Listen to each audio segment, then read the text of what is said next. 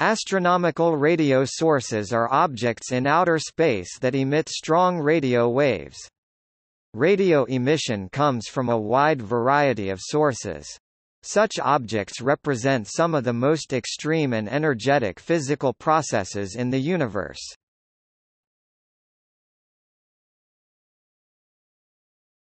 Topic: History In 1932, American physicist and radio engineer Karl Jansky detected radio waves coming from an unknown source in the center of our galaxy. Jansky was studying the origins of radio frequency interference for Bell Laboratories. He found a steady Hiss-type static of unknown origin, which eventually he concluded had an extraterrestrial origin. This was the first time that radio waves were detected from outer space. The first radio sky survey was conducted by Grote Reber and was completed in 1941. In the 1970s, some stars in our galaxy were found to be radio emitters, one of the strongest being the unique binary MWC 349.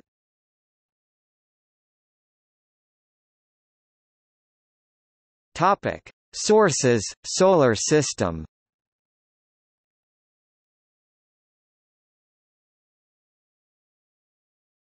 Topic: The Sun. As the nearest star, the Sun is the brightest radiation source in most frequencies, down to the radio spectrum at 300 MHz 1 meter wavelength. When the Sun is quiet, the galactic background noise dominates at longer wavelengths. During geomagnetic storms, the Sun will dominate even at these low frequencies.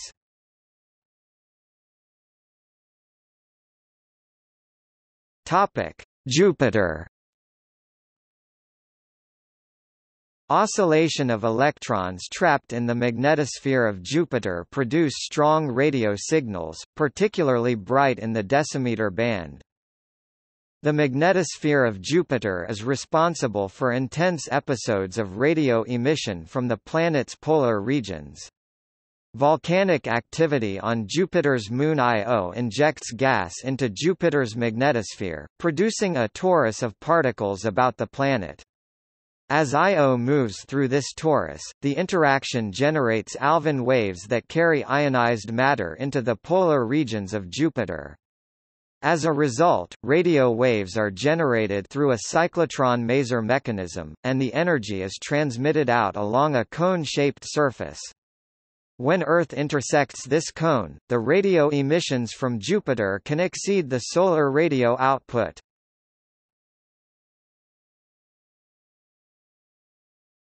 Topic: Sources: Galactic.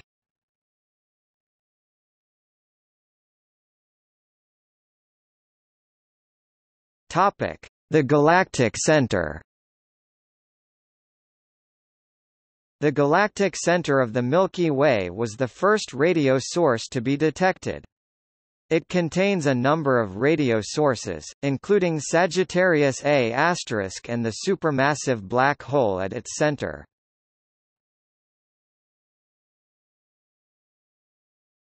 Topic: Supernova remnants. Supernova remnants often show diffuse radio emission. Examples include Cassiopeia A, the brightest extrasolar radio source in the sky, and the Crab Nebula.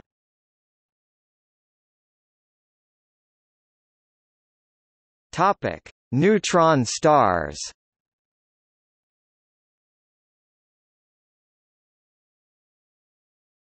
Topic: Pulsars.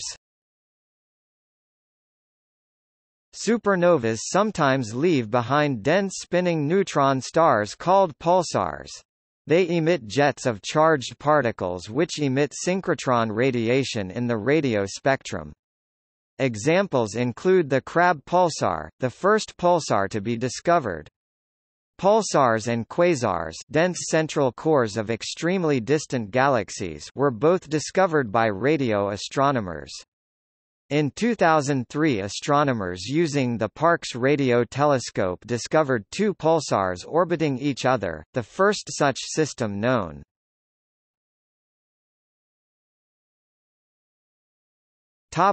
Rotating radio transient sources.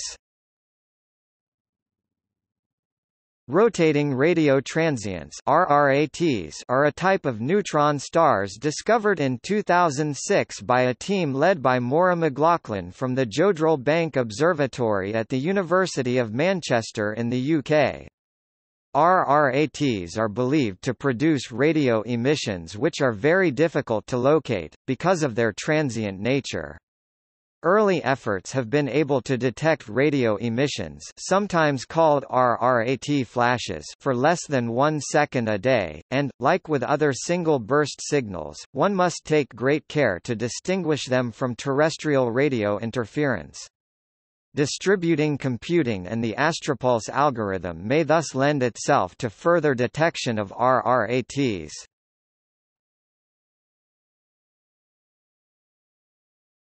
Topic: Star-forming regions. Short radio waves are emitted from complex molecules in dense clouds of gas where stars are giving birth. Spiral galaxies contain clouds of neutral hydrogen and carbon monoxide which emit radio waves. The radio frequencies of these two molecules were used to map a large portion of the Milky Way galaxy.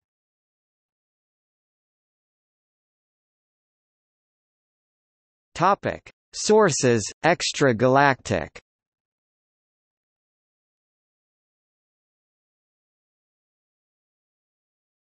Topic: Radio galaxies. Many galaxies are strong radio emitters, called radio galaxies. Some of the more notable are Centaurus A and Messier 87. Quasars short for quasi-stellar radio source were one of the first point-like radio sources to be discovered. Quasars' extreme red shift led us to conclude that they are distant active galactic nuclei, believed to be powered by black holes. Active galactic nuclei have jets of charged particles which emit synchrotron radiation. One example is 3C273, the optically brightest quasar in the sky. Merging galaxy clusters often show diffuse radio emission. Topic: Cosmic microwave background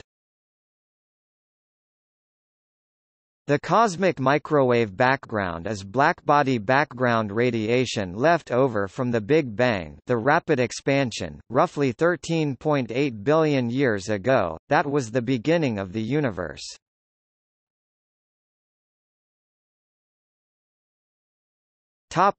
Extragalactic pulses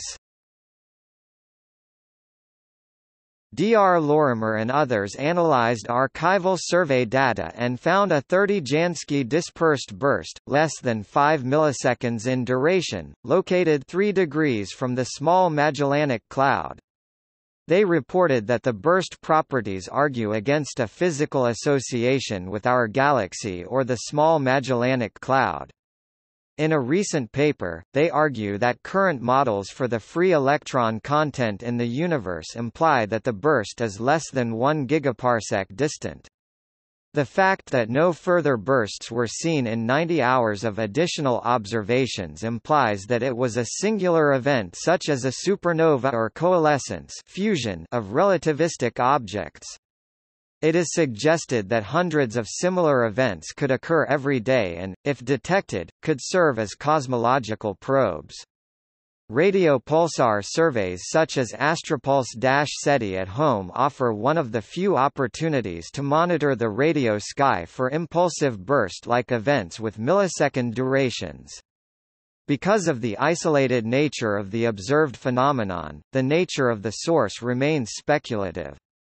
Possibilities include a black hole neutron-star collision, a neutron-star-neutron-star collision, a black hole-black hole collision, or some phenomenon not yet considered.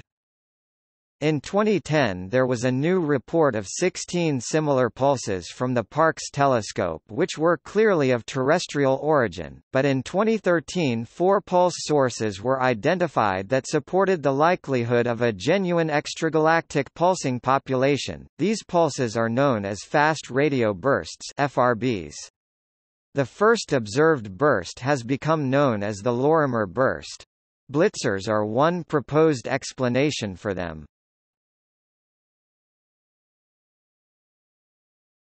Topic: Sources not yet observed.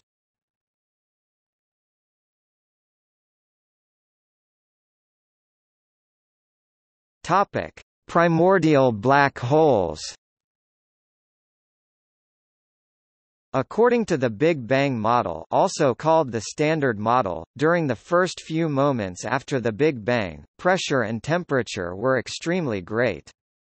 Under these conditions, simple fluctuations in the density of matter may have resulted in local regions dense enough to create black holes.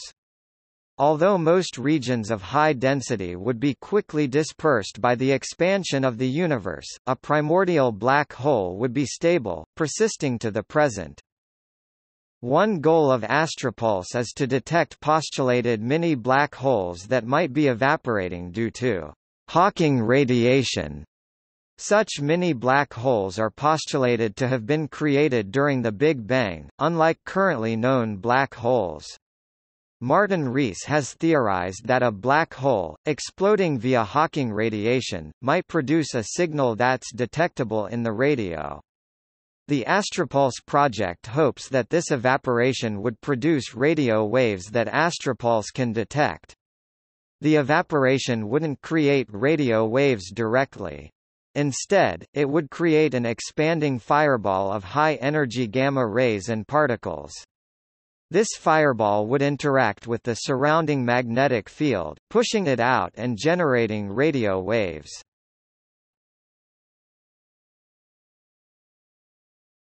Topic: ET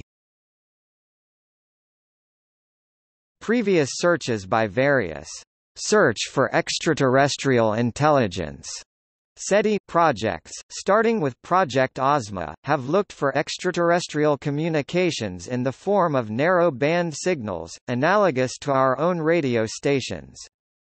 The Astropulse project argues that since we know nothing about how ET might communicate, this might be a bit closed-minded.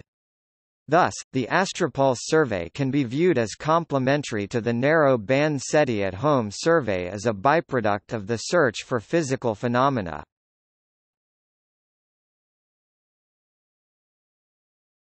Topic: Other undiscovered phenomena. Explaining their recent discovery of a powerful bursting radio source, NRL astronomer Dr. Joseph Lazio stated, Amazingly, even though the sky is known to be full of transient objects emitting at X and gamma ray wavelengths, very little has been done to look for radio bursts, which are often easier for astronomical objects to produce.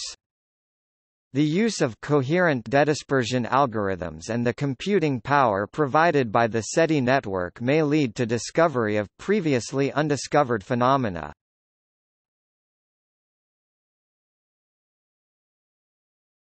Topic. See also.